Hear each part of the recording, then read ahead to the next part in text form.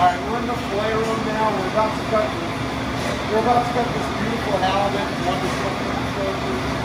Over the something dark. The hat, skate, all sorts of stuff. We're very busy today.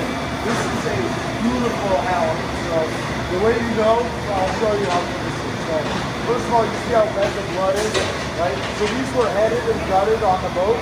See how red the blood is? This is the trick to a halibut, right? First, look, touch on it, springs back, right? It doesn't dent. That's how you know it's really good quality.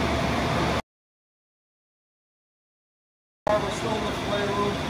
So this is the underside of the halibut, right? So the dark side that you just saw sits, you know, sits in the sand this side down. So these are flatfish. This is the big, big one. They get huge. I mean, like four, five, six hundred pounds, literally. Um, so the head would be here, they sit on the bottom. So this is white because it's, you know, they're hiding. So this is on the bottom, that stays white. And this is what you can see from the surface. They perfectly blend in with the bottom of the ocean. Uh, but they're predators. I mean, they eat some serious stuff. Trick that I learned a long time ago to tell a good halibut. Give uh, shout out to Uncle George in Portland.